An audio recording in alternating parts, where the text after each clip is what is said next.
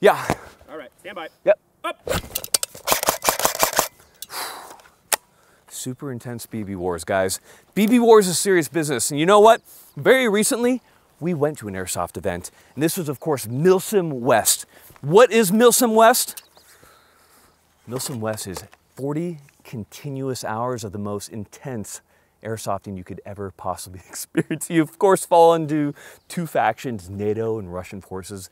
Russian forces also have militia with them. And you can be asleep and you can be assaulted. It is some good fun out there. The question is, can anything be gleaned from this that can be useful to actual training out there? Well, let's talk about it today. Let's talk about airsoft in general and what do I think about its application to training. Now, before we get into it, we of course have to thank the biggest sponsor of this channel. The biggest sponsor of this channel is the Sonoran Desert Institute. A big thank you to them if you're looking to get your start in gunsmithing. They are the way to go. We can't thank them enough. And of course, Xidax Computers. A big thank you to them. Gaming channel is starting soon. We've said it forever, but it will. And then of course, we can't forget what, Micah? Patreon. Patreon. Patreon is Bussin'. bussin'. It's always bussin'. And uh, Micah posts everything that I don't want to have posted. And uh, it's very upsetting for me. Gives me a lot of anxiety. Uh, a little bit of eczema. But you know, it's good. We have fun. I answer questions, get in there. You of course get exclusive first access to a lot of our new products that we're coming out with from Onward Research. Go check it out. And of course, for this particular video, we have to thank Evike and uh, grayshop.ru. They both provided a lot of stuff to us. Question was, why did I go as Russian forces? Well, I've served over 10 years as active duty in essentially NATO, so I didn't want to be what I am in real life because I'm LARPing. Make believe. It's just pretend. So big thank you to them. Ladies and gentlemen, I often forgotten, most certainly not by me, hardcore Milsim LARPers. Welcome to the channel. So, Airsoft, BB Wars, is it good training? So we're gonna cut right to the chase. Right off the bat, what is the best and the worst part of airsofting? The worst part of airsofting in my mind is actually the airsofting itself. Um, in every way, I think there are a lot of bad training scars that can be had from airsofting. And let me explain it to you. Because in many ways, these airsoft guns can get really good. For those of you who have seen the really high quality ones, they can be one to one, one to one weight. Um, and in fact, the recoil can get very close. Hey, But inherently, there are just issues with airsofting, mostly in terms of the speed of the BB. Because the BB has to be slow enough to not kill you. Kind of makes sense. So because of that, things that could be done in airsofting could not be done in real life. So let me give you a small example here. So we have an LCT RPK from Evike, big thank you to them. Uh, what's funny about this to me is that drums in real life kind of rattle, and then the airsoft one also rattles, very realistic. In any case, we have Charlie. Charlie has two covers he needs to run between, and uh, I'm gonna treat it as if I had a real weapon and somebody were to run from cover to cover in terms of my uh, sight placement. So we're gonna go ahead and we're gonna get this ready, make sure this firing. Ooh, very scary BBs. All right, Charlie, go. Go. So, of course, I could have hit Charlie with this particular airsoft gun. All I would have had to have done was to lead him as you would need to lead somebody with an airsoft weapon. My problem comes into this is with a real weapon, you wouldn't lead like that. So there could be problems with sight pictures. Now, I will be very quick to mention that there is certainly application in airsofting. In terms of CQB, airsoft does have good application when you know the speed of the BB isn't as much of an issue. So certainly it's as good as UTM or simunitions in those CQB environments, but at the same time, you're still not getting that kind of perfect feel because as good as airsoft guns get, and Micah and, and many people that we've worked with have really souped up these airsoft guns to where everything feels really good, but the triggers are still not triggers and the recoil as close as it can as it can get to a real weapon is still not real recoil. So I still do prefer things like UTMs and simunitions where you can actually just swap a bolt and fire those rounds and you have your actual weapon, you have the same recoil. That feels like much better training to me. Of course, it does cost a lot more money. What I will say is that if you're in a country or in a position, maybe because you're too young to own a firearm, stupid by the way, then airsoft certainly does have application, right? Just realize that there are limitations both in terms of the shooting as well as in the manipulation of the weapon because even the way the magazines lock in on these airsoft guns is not like the real thing. So don't get too cocky there. There's nothing like real steel, but airsoft does get close. Now, I want to point something out, that being said, because I, I, I feel like I'm being too harsh. Am I being too harsh, Micah? A little too I'm harsh. a little too harsh. Let me say this. Airsofting is hella fun. I have a really good time going out there with the boys and shooting BBs at each other. And although there are a little bit of training scars, I put it in the same realm as paintball, but probably better because it's just easier to deal with. Airsofting is just fun, and that is okay to have fun. I don't know if you guys know that, but it, that is that is okay. Charlie, is it okay to have fun airsofting? No. There you have it. because there's nothing like pretending to be a Russian, running through an open field, and watching your best friend administrative results get gunned to the ground brutally by a BB gun.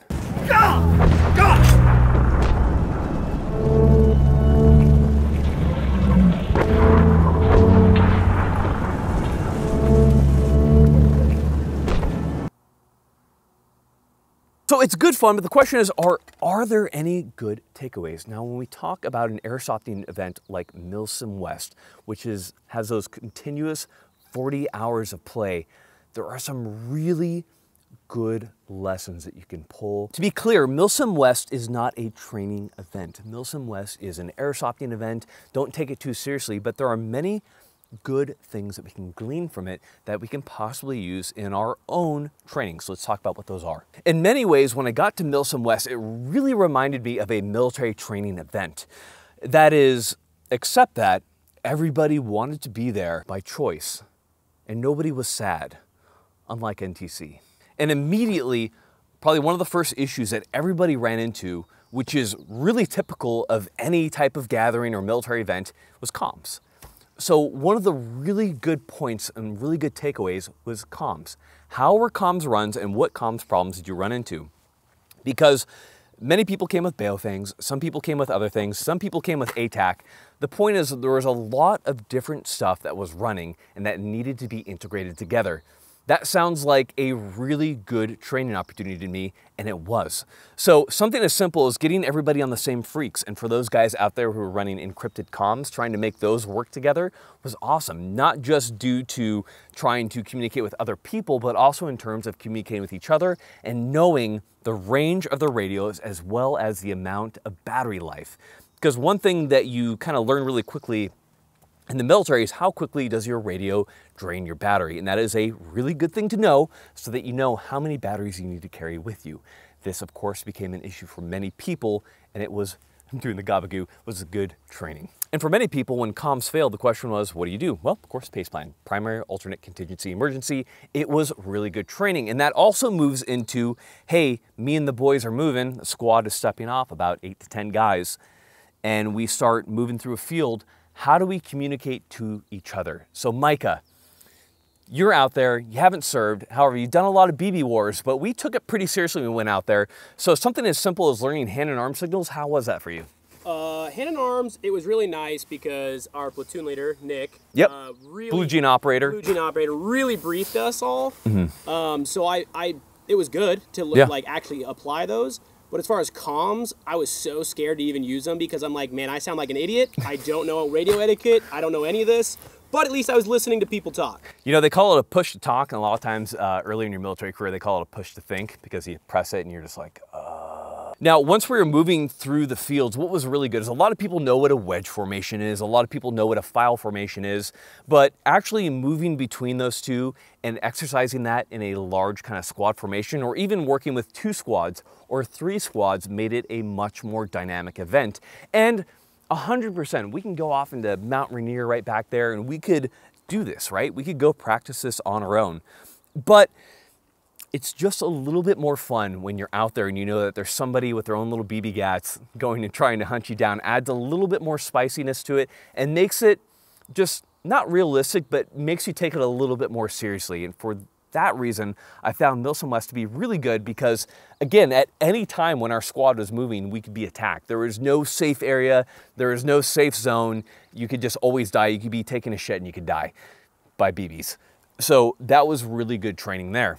Talked about it a lot, but one thing that a lot of people realized was that not being fit really sucks because when you have all of your kit on, and sure, the BB Wars loadout is going to be a little bit lighter than a real loadout, but it is still weight on your back and weight on your body. For my military guys out there, guys who have gotten good training, you know that as you move, you move, you will take cover, you will pause, you will do sills, stop, look, listen, smell. You take a knee, you get up off that knee, you move, you take a knee, you get up off that knee. You learn really quickly that A, you're not fit because squats suck, and that two, equipment can be a very real problem for you. Mike, I know you ran into an issue with equipment. Yeah, no, I some of my pouches just dangled in the wrong spots, gave me blisters, headache, uh, from honestly the lack of use under nods. Uh, just suffering. It, yeah, just, just pain. pure suffering. And it, it, reminds me, you know, when I was going through selection um, to become a SERE specialist, one of my buddies, uh, we went on like I think like an eight mile ruck, uh, during training. He didn't have his Alice pack adjusted properly, and it ended up uh, rubbing like a, an open sore on his back over like one day. And so we still had two weeks left of training. That thing ended up being super painful and getting super bad and infected because he kept sweating into it. The sweat would crystallize and just open it up, and it sucked. And it was simply because he didn't know how to adjust his kit. So although this isn't a training event, you're still out there with your kit on and you're gonna learn what does or doesn't work, just like Micah did, just like my buddy did. So that is one thing that I really loved about it. Daytime uh, was kind of a wash for me. I really didn't care for it that much because you're watching BBs fly at like 20 feet and you're like, whatever. But when we got into night, some very interesting things occurred. The reason night was so important was that living under green light, living under blue light, and actually going a full 8 to 12 hours at night, running nods that entire night, was a real game changer for a lot of people. If you've been to a flat range, you've gone in, you've turned on your nods, I say flat ranges, we're talking about BB Wars. You turned on your nods and you shot, and you flip up your nods, you turn on your red lamp, and you kind of do your stuff. Cool. Is that good realistic training? I don't think so. When we got out to Milsim West, we practiced full light discipline. That meant once the night set in and we put nods on, we were 100% light discipline. That meant no red lights, no lights of any kind. So things like simply drinking water become an issue. Simply finding the correct pouch become an issue. So for a lot of people, this was a really good event to get really good under nods really quick. Mike, I know you didn't have a whole lot of times under nods. Virtually none. Virtually none. And uh, then you ran a full eight hour night. And this was my first pair of nods that I had acquired a week before the event. Big things, big thank you to Discreet Ventures. Discreet Ventures. Um, and I just got thrown into the fire. I was bumping into people. I would get snagged on branches. I started to learn proximity and all that very quickly. How many times did you knock nods with somebody when you were trying to talk I to them? I ran into probably like seven people in one night. Like, stop! Yeah. So nods became really important. Now, something as simple as your nods die, you need to change your battery. This happens all the time. Can you do that at night? Sure, you can pull, unscrew the cap, but can you, do you know where your battery is located in your pack? Can somebody get that for you? So something as simple as I have my pack on, I need to change my nods, and I need to tell somebody to grab batteries out of my pack. Do they know where my batteries are? So this also came down to gear standardization. And this is a very common issue that the military runs into as well is if I need to grab something off my buddy, a little bit of standardization can go a long way, especially when it comes to night vision. You had to see, once we got out there, people quickly realized was their gear actually up to snuff? So does your gear glow under night vision? Because some fabrics just don't work really well and are super bright under night vision. So you learned very quickly what your gear did, what your gear didn't work, and that was really good training for a lot of people. Another simple thing to think about was light emissions. Um, people are like, okay, cool, I'm not turning on my red lamp, therefore my light emissions are zero. Well, then people had a Garmin watch, but they didn't have the tactics model, so they actually couldn't turn off the light on it, and so it ended up glowing. That can be spotted for miles easily. I, I got a radio transmission and your and my radio lit up. Fucking Baofengs, dude, yeah. every time. So seeing what's going to give you away at night, it might not always be the things that you think it is. Um, one thing that I had was we had guys take camo uh, paint and smear it over any reflective surface. That's going to be vitally important, not just during the day, but also at night when it comes to any type of light that's going to be coming in. Easily spottable. There were some teams, whether they were running nods, but they didn't know where their gear was, or whether they didn't have nods and they were running red lenses, even if they turned them on momentarily, that was like an instant beacon like in Battlefield. Like we just knew precisely where they were. And a lot of people just don't realize how bright a red light is under night vision. That can be seen for thousands of meters. And it just goes to the point. You need to have that red light discipline, or if you're gonna turn on your red lens, I know for my military guys, throw a poncho over you, cover it. You need to stop that emission because it is so, so bright during the night. And for those guys who didn't have night vision, again, this talks about what we've always talked about, but it, it, it's not fair because night vision is super expensive, but if you don't have it, you're gonna die to people who do have it. So for those teams who didn't have night vision, they were at such a massive disadvantage that it, it, wasn't even fair at that point. We could walk right up to him and just BB wars him to death. And it, it just wasn't fair. But it was also really good training because you got really good at very quickly identifying who did and didn't have nods, which also brings us to something as simple as aiming. When you aimed, did you use your IR laser or did you not? Most people learn to not use their IR laser because that thing would give you away so damn quick. It is so bright, especially for people running modern night vision. It was just a really bad idea. And Dude, don't that thing should not even it's not even fair. That, So- oh my god. So you can come in here. Uh, we're not paid by these guys or anything like that. This is an iRay Micro uh, MH25, just a little thermal unit. And um, what do you want to say about it, Micah? It's literally a like not I- game changer is an understatement. So, like we said before, um, there's nothing fair about how you fight. And I know we're talking about BB wars, but again, we're trying to get the translation going across. But thermals 100% made everything um, unfair. Uh, as we can see from this footage that we're gonna pop up right here, because you can actually record through this unit, I ended up running it as a standalone. That's not how I would typically run it, but that was simply due to the ranges that we were shooting with our BB GATs. I really didn't need any magnification on it or anything like that. But I was easily spotting people at a thousand meters plus. So when it comes to actually conducting an ambush, this thing made it stupid easy. So once we started using this, and uh, I mean, for people who've used thermal, you know it already, but it, it literally dictated how we would conduct our ambushes, how we conduct our patrols, because we could easily spot sentries, we could easily spot anyone. So night vision is really good. Uh, I was running uh, current Gen, Gen 3 PVS 31 alphas, which are uh, current military issue in use.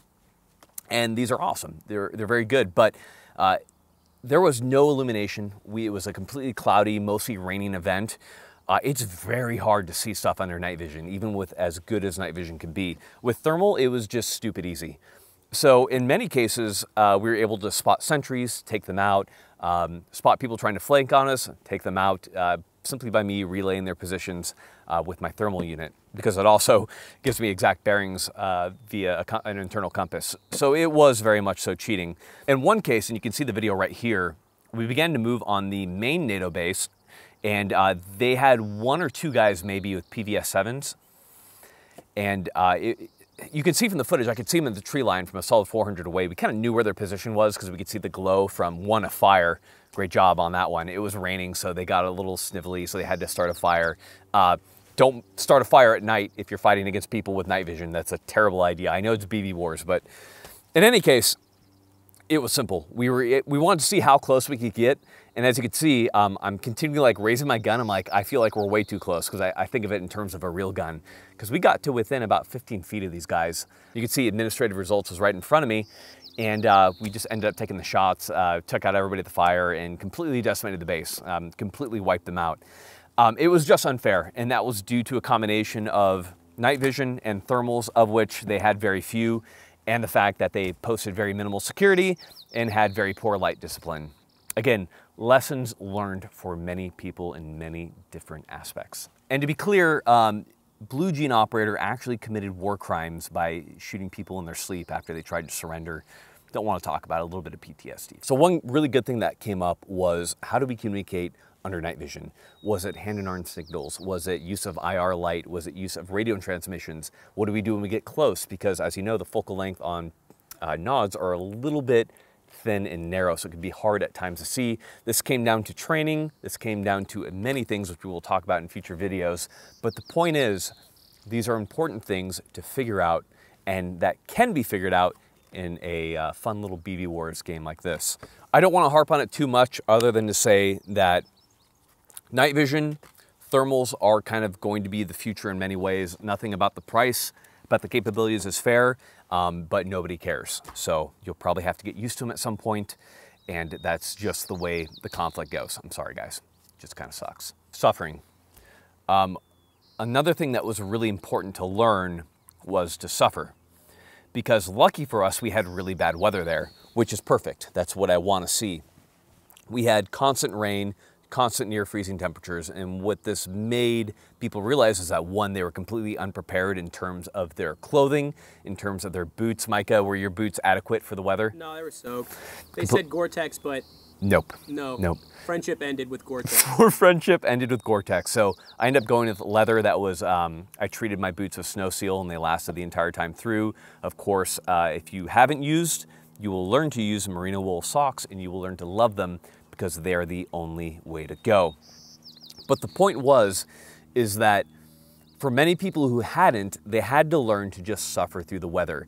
Uh, we didn't make giant fires at night. We didn't try to get warm at night. We simply went and patrolled as a squad and went in as our little Russian death squad and all that kind of stuff. Why that's good is it's good to get used to that feeling of being wet, of being cold, but kind of warm enough to still function because you're moving. Um, these are good things to get used to. The fight typically isn't going to happen at a time when it is convenient. So, um, to quote a dumb term that we use all the time, uh, get comfortable being uncomfortable. And this was a great opportunity to do so even though it was simply BB Wars. You can take make it as good or as bad as you want to, uh, because in our case, there's a point at in our AO, area of operation, BB Wars, where we had like a solid 700 meters of open field, and I have a little video right here, and you can see that it, it's just completely open, and we're just walking in it. And that's not realistic, right? Because in real life, uh, a weapon like this, if it were real, an AK-105, could easily make a five, 600 meter shot and could put us straight into the dirt. So in reality, we'd want to take that route way differently. We'd want to use microterrain, actually navigate, belly crawl, use what we can, and move at times that make sense. How much you're going to get out of an airsoft event like Milsim West is completely predicated upon you about how you as a squad, as a team handle it, how seriously you take it, and how much fun you have with it. Because no matter what, have fun doing this. But the point is there's a lot of good things to glean from it. So before I go, I do want to talk a little bit about some of the kit that we use. We used from Evike, the LCT uh, SR3M. Ran semi-okay, I would probably go with the 105. We use the Onward Research Recce rig, which is our rig. Uh, it's pretty, uh, pretty awesome. And I use a SORD dump pouch. And of course, I was using my normal uh, three-day assault pack from Mystery Ranch as well as ATACs from uh, Gray Shop. So a big thank you to them for sponsoring that. Again, we just wanted to do something a little bit fun. Uh, point is, I had a great time, and uh, for a lot of the people that I typically associate with, it was a really good event to be able to kind of get them closer to a level that I needed them at, uh, while also having fun. So in conclusion, should you BB Wars? I think so.